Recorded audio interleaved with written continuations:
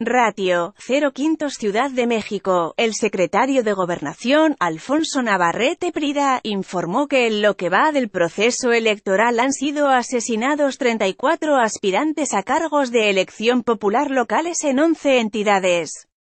En conferencia de prensa, detalló que de las investigaciones que realizan las procuradurías y fiscalías locales que tienen que ver con estos 34 casos, se desprende es que han sido en su mayoría, producto de disputa de delincuencia organizada. Otra buena parte es temas de índole personal, familiar y personal, y no ha habido un caso que pueda ser vinculado en este momento por razón ideológica o con motivo de la competencia de un aspirante o candidato a cargo de elección popular por sí mismo. Pero esto lo tendrá desde luego que responder las autoridades locales, añadió.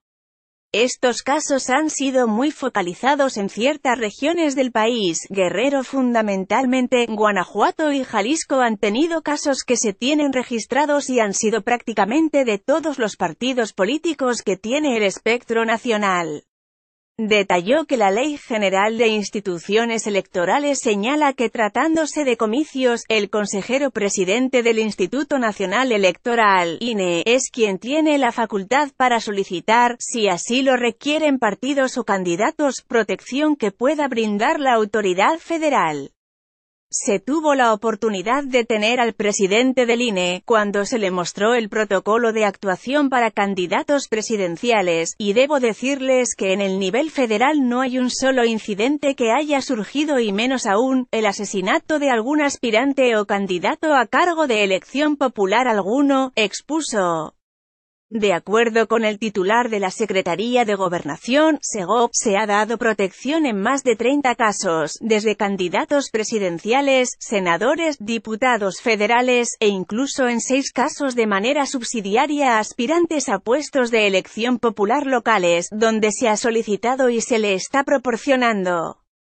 Estos 34 casos en 11 entidades obedecen a candidatos en el ámbito local, donde la fórmula es que cada OPL, cada institución local electoral en cada estado, solicita a la autoridad local protección para esos candidatos o partidos que así lo solicitan, y desde luego esta protección se brinda y debe de hacerse de manera diligente y cumplida, subrayó. Navarrete Prida aseguró que la dependencia sigue abierta a esa convocatoria a la mesa para dialogar sobre los temas de seguridad. Precisó que sí han tenido diálogos bilaterales con coaliciones o partidos en lo individual. No hemos tenido oportunidad de tener una mesa general de diálogo con todos los partidos políticos, y el exhorto sería que la podamos tener, a que podamos dialogar. En relación a las declaraciones del exfiscal electoral, Santiago Nieto, el titular de la SEGOP sostuvo que las razones de su salida de esa institución hablan por sí mismas. Y desde luego si alguien tiene conocimiento de la comisión de un delito, pues lo debe denunciar, más cuando se sabe que es un servidor público o ex servidor público que conoce del sistema de leyes. De ahí en fuera, no me merece mayor comentario, subrayó, NTXGIRMTGVOTONALJ.